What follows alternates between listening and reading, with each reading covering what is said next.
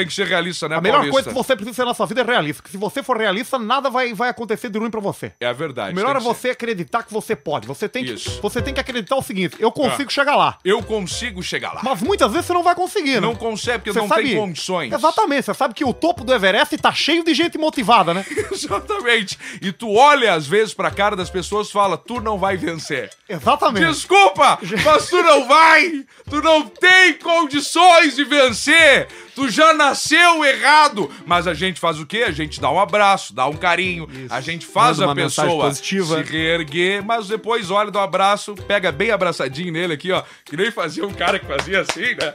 E falava assim, ó, tu tá fudido, cara. Tu tá fudido. Você sabe que quando aquela voz dentro de você, quando aquela vozinha, aquela vozinha que a gente tem lá dentro, né? Quando ela sim. disser pra você assim, ó, você, você desista. Desista. Desista. Sabe o que você tem que fazer? O Paulista? Você tem que desistir, porque é muito bom. É muito recompensador quando você fica na zona de conforto. Dá um alívio desistir, Não tem né? lugar melhor do que as zonas de conforto. Vai dizer que não é uma sensação boa tu não ter força de levantar da cama. É uma maravilha. Você tá ali e você acorda, olha o despertador, sete e meia. E? Você diz assim, eu vou dormir até às onze. E aí depois dorme e acorda às três. Três às três. É a melhor coisa que existe. E aí tu não tem força. Ó, ah, tá ali, ó. Eu tô aqui na, na trilha, eu tô já aqui, ó. E o cara olha pro lado do quê? O uísque. A garrafa do uísque, o cigarro. Isso aí que o pessoal fala que não pode fumar é uma grande de uma bobagem. É verdade. Isso aí não faz sentido. Não tem uma pesquisa científica que comprove que cigarro É o que mal. eu digo. Alguém me apresenta aqui, ó. Uma! Eu quero uma pesquisa Apenas uma. que onde diga que o cigarro faz mal. Nosso presidente Bolsonaro já disse, não faz mal. Não faz mal. Eu quero uma pesquisa apenas que a pitada, o pito, o toque me voe faz mal pra pessoa. Tem mais uma informação pra ti aqui, Alcemaró. Vamos ver? Três pessoas pulam em piscina com gelo seco e morrem durante festa de influenciadora na Rússia. Rússia! Claro que tinha que ser na Rússia.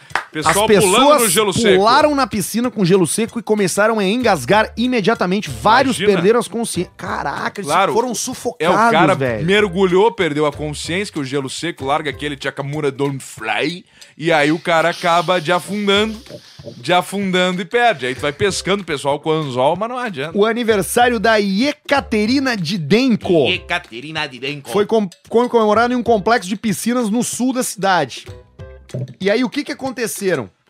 Eles jogaram, cara, gelo seco dentro da água. Sim, pra fazer uma Fumaça. borbulha e, e borbulhol. Borbulhol. E aí os Borbulhol. caras pularam dentro e não conseguiam respirar. Claro. Porque tu não consegue respirar embaixo d'água. Aí tu vai respirar fora d'água e tá cheio de fumaça de gelo seco. E deve largar alguma aquela coisa, e o gelo seco ele queima, né? E aí acontece uma das coisas mesmo que é o desespero. E aí vem o desespero. O desespero. Tu começa, Tá fica desesperado. respiração. E aí tu já não sabe pra que lado e eu que tá a tô aqui borda. na Rússia, aí... Sim, tô indo pro caixão. E aí tu começa a tentar sair pro lado de cá, pro lado de lá e não vê nada. E respira fumaça, respira gelo seco. Cara, morreram e morrer. três pessoas no aniversário da guria. Três. Você foi. O marido dela é um dos mortos. Poxa. E aí no, ela, ela depois, em uma mensagem de vídeo, porque ela é influenciadora, então ela fez um vídeo pro Instagram. Ela disse que ela tinha sido. que ela tava muito abalada. É o mínimo, né? É o mínimo que a gente espera.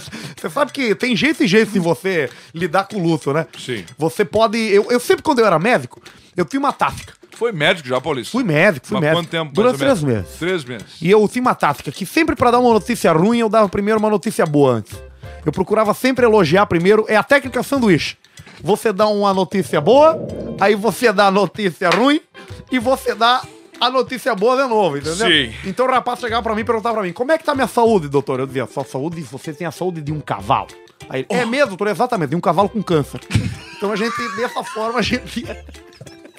Mas você tá forte. Pô, você No tá muito final. bem. Você tá forte.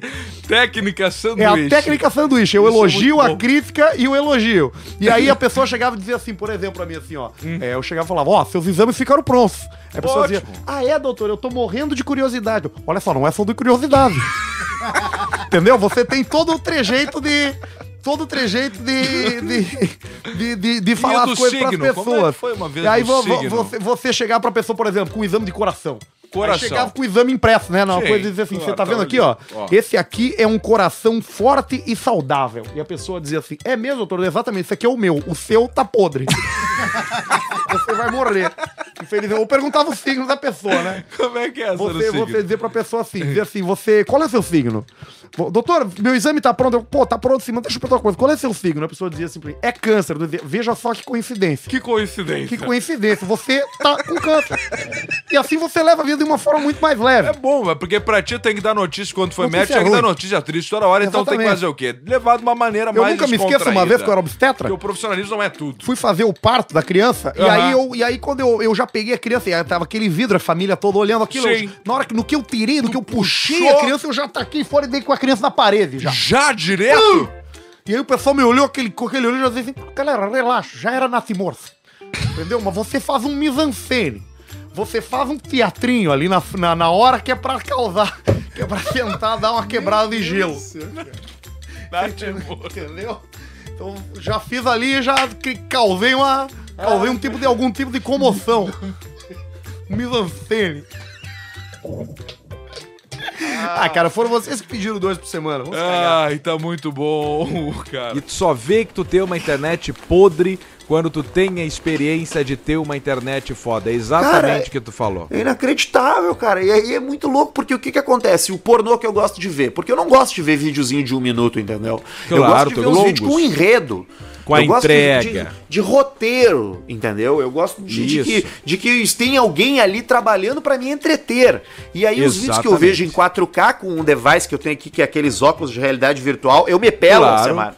Eu me pelo Sim, inteiro. te pe- tu- isso, te- ah, tu acaba te pelando. Eu me pelo, aí eu sento numa poltrona reclinável que eu tenho aqui e boto óculos de realidade virtual, entendeu? Isso. Então eu fico tampado na visão, fico só vendo aquela projeção. E aí eu entro num pornô 4K de realidade virtual e é assim que eu me curto. É assim que eu curto meu corpo. E qual é o tipo de, de- Tu gosta daqueles tem enredo, que o cara vem, chega com uma pizza pra entregar, consertar o encanamento, ou aquele que é o sobrinho que tá na casa da tia. Você sabe que eu tive um problema com isso aí, né? Ué, Paulista, o que aconteceu? Eu tive um grande problema com isso aí, porque as preferências elas são muitas, né? Você Sim. reconhece pra mim que você pode ser ter, ter gostos diferentes, gostos e valores não se discutem, hein? Não se discute. isso E não qual discute, foi não a tem minha discussão. surpresa, rapaz? Quando eu botei, a minha mulher foi, foi ver o, a internet e eu, tinha, e eu tinha deixado ali a sugestão de busca frequência. Qual foi a minha surpresa quando ela viu o que, que eu buscava na internet, rapaz? Ela se assustou? Você não imagina, você quer chutar alguma coisa, porra? Deixa eu pensar. é, A minha mulher descobriu que eu gosto de ver. Não, que rapaz, que é isso? Minha mulher pegou ali e descobriu que eu gosto de ver pornô de grávida. Pornô de gravidez? Você consegue imaginar constrangimento, rapaz? Da sua mulher é descobrir que complicado. você gosta de ver porno- pornografia com grávida? Isso Você é acredita nisso? Você acha que eu preciso disso? Eu não preciso disso, rapaz. Não Ninguém tem. precisa disso, entendeu? Você tem que guardar os seus gostos, os seu- as suas preferências pornográficas pra você Exato. mesmo. Que é pra Exatamente. ninguém ter que incomodar você, entendeu? Eu já Exatamente. tive um problema no trabalho hoje, entendeu? O meu chefe me perguntou, pô, por que, que você foi fazer sexo com ela ali, porra?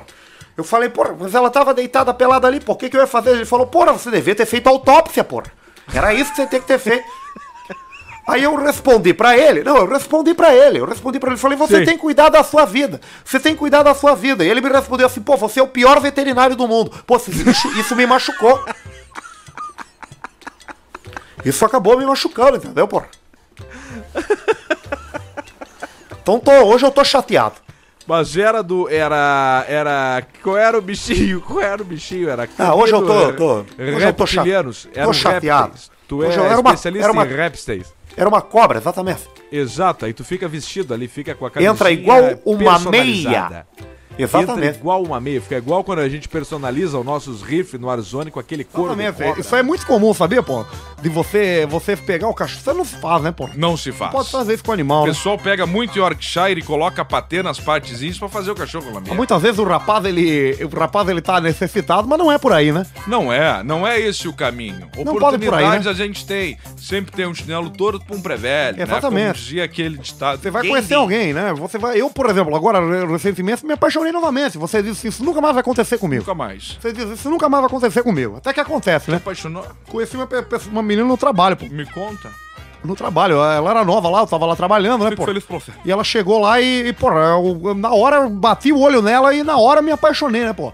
Olho azul, Isso é bonito. olhinho azul, bonitinha, Ó, a pele bem branquinha, pele branquinha. ruivinha. Ruiva. Você acredita, pô? Você acredita? Meu Ruiva número. de olho azul. Meu número. Meu número, rapaz. Meu número. É difícil você encontrar ruiva do olho É azul, né? difícil. Ruiva de olho azul é Ruivinha de olho azul, olho grande. A única pessoa ruivo de olho azul que eu comi na minha vida foi o Piangers. Exatamente.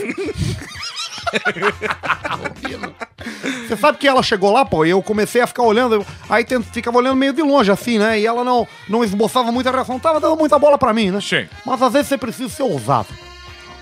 Às vezes você precisa ser ousado. Você Atitude. precisa ser atitude. Atitude. Sou eu. Eu sou o leão. Eu sou. Exatamente. Cheguei junto lá nela, lá, comecei pegando pela mãozinha. Ó. Entendeu? Tudo isso ali no ambiente de trabalho. Você Sim. imagina, imagina o que eu tava arriscando, hein? Eu Tudo. tava, eu tava botando meu nome na berlinda. tava botando meu nome na berlinda. Peguei a mãozinha dela, retribuição, se teve que que rolou uma retribuição, carinho. Teve. Acabei, acabei fazendo um carinhozinho na, na nuquinha dela, falando no ouvidinho dela. Você acredita, rapaz? Acabamos, a- turno da madrugada, né? Sim. Turno da madrugada, Ah, né? menos gente. Acabamos fazendo amor ali mesmo. Acabamos transando ali mesmo, ali. Que pô. delícia. O tesão ali na bate, mesa do trabalho. tesão bate mais forte. Transamos ali na mesa do trabalho. Tesão Você bate mais forte. Fa- Fazia anos que eu não consegui isso aí. Transei quatro vezes na noite com ela. Uma noite. Mas na mesma noite. coisa impressionante. Você acredita isso aí, Quatro vezes. Quatro vezes na mesma noite com a menina lá, com a ruivinha de olho azul. Você acredita? Isso é uma Aí, delícia. pô, terminou, terminou o nosso turno lá, fui pra casa feliz da vida, né, pô? Sorriso estampado no rosto. Felicidade. Feliz estampado no rosto. Felicidade. No outro dia eu voltei pra trabalhar. Cadê ela? Ué, Onde é que ela tá, pô? Sumiu, pô? você foi? Então essa é a parte ruim de você trabalhar no IML. Porque você nunca sabe o que, que pode acontecer. Você tá ali e daqui a pouco você não tá mais, entendeu? Mas são histórias de amor que nascem e se desenvolvem no ambiente de trabalho e muitas vezes você não tá esperando. Mas é importante ver que você ainda é capaz de se apaixonar, né? Você ainda tem amor no seu coração. Tem que ter amor no coração. O importante é você ter alguém pra cuidar de você quando você ficar Amor velho, pra limpar seu rabo. É a mesma coisa colocar o Tico naquele. É a mesma coisa colocar o Tico. Lembra daquele iogurte que tinha do Danoninho que tu botava Claro no que freezer? sim, porra. Do Danoninho Claro de que sim. picolé. Botei muito tico, botei em, em, em bocal de, de Muito iogurte. Tico, botei em bocado de iogurte. Muito tico, botei. Sem cuidar Qual foi a coisa não- mais estranha que tu botou o Tico, Paulista? Ah, eu acho que é minha mulher. Acho que foi minha ex-mulher. Minha ex-mulher era muito esquisita. Sabe que, é, sim, é porque ela era metade coreana, né? Ó, Ela era metade coreana. É, o pai dela era coreano, né? E a mãe dela, a mãe dela também era coreana. Mas ela era só metade coreana porque ela tinha sofrido acidente de carro e tinha perdido as pernas. Então era só da metade da cintura pra cima. Mesma coisa uma tartaruga. Olha aqui, ó. Aí o Quero ver Péricles. eles brincar com o Maomé. O Péricles. É, não vai, né? Não O- vão E daí, aí né? ele diz o seguinte: meu sonho é passar a virada cantando. Tá, mas ele quer passar, ele ele passa a virada comendo sempre. E agora ele quer virar pelo menos cantando. Imagino que ele não come o Péricles numa ceia de Natal. Imagina a cagada do Péricles. Deve ser uma cagada. E é impossível. Eu jogo aqui, esses dias eu falei assim, ó. Bah, eu jogo tal coisa. O Arthur falou, bah, eu jogo meu cu. então, tu tem que jogar um troço que seja menos desapegado que teu cu. Mas eu jogo. Eu jogo o milho que o Périx não consegue se limpar há muitos anos. Sozinho, tu não diz? tem como. Mas como é que ele vai se limpar, Mas cara? ele, ele vai reto pro banho, o Périx caga e na hora ele vai pro boxe e aí ele vê o desastre de passando por baixo das pernas dele.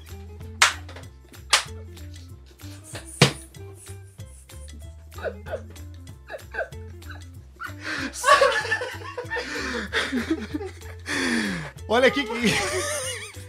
Não tem, não tem. Cara, papel higiênico, lencinho umedecido não tem, é banho na hora. Tu faz isso aí, Na tu te hora. limpa antes de ir pro Ah, banho? Eu me limpo, eu ainda tô bem. Eu, né, eu, já- eu já tive 125, hoje eu tô com 100. De 105, É mesmo? 100, não, 100 eu tô mentindo. Mas 100, 108, por aí eu Mas tenho. o que, que tu acha disso aí do cara que só que não se limpa e vai direto pro banho? Isso aí é uma maravilha. Tu economiza no papel higiênico, tu economiza no lencinho e tu vai na água e vai pro ralo igual diluído. Mas é meio Tu nojento, não só acha? vê o açudão indo assim embora, passando por baixo das tuas O pernas. Mariana. O Mariana passando por baixo das pernas.